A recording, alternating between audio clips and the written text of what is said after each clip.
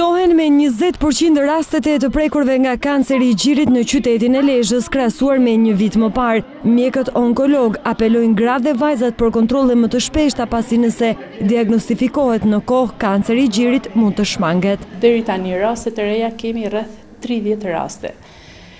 që do të thotë kemi një rritje rreth njëzet për qind të numrit të rasteve në krahasim me një vit më parë, shifër kjo e konsiderueshme, një njëzet për qind rritje për një vit. Kësaj situate alarmante i shtohet edhe mungesa e një mamografie në qytetin e Lezhës, e vetmja zgjidhje mbetet kryerja e kësaj vizite në qytetin e Shkodrës. Është një nismë shumë e madhe, po që kërkon bashkë veprimin e disa faktorëve do të sigurohet ose bërja e mamografisë në Shkodër ose në pamundësi për për t'u realizuar ky numër sepse numri mund të jetë shumë i madh do të vijë një një mamograf port portativ në në Lezhë që do ta sjellë Ministria e Shëndetësisë. Megjithëse sëmundja e kancerit të gjirit po merr përmasa të mëdha për rajonin e Lezhës, ende nuk ka asnjë reagim nga Ministria e Shëndetësisë për pajisjen e poliklinikës me aparaturat e nevojshme diagnostifikuese.